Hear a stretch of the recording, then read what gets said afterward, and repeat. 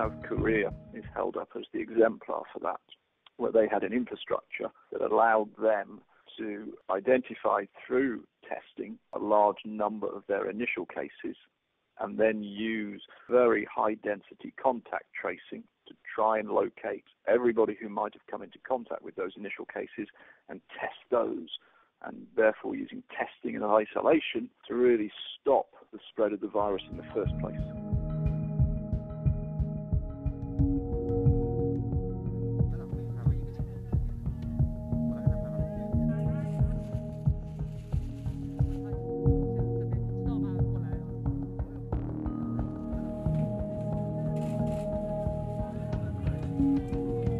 Antibody test hoped again that we'd be able to give people confidence, particularly say medics working on the front line, that they should have a degree of immunity.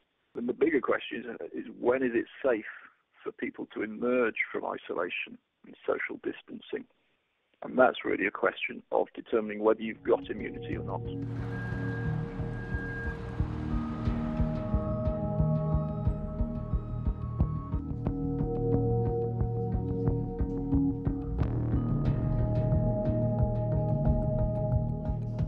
We only test people that we're going to admit.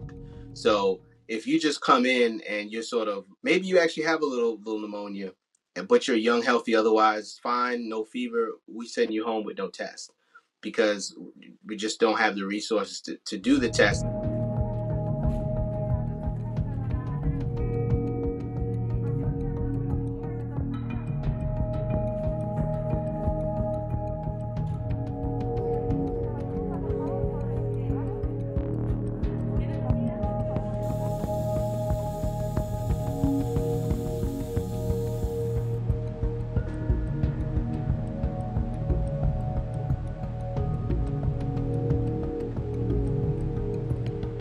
It generates a, an accurate test result in a matter of minutes instead of hours or days.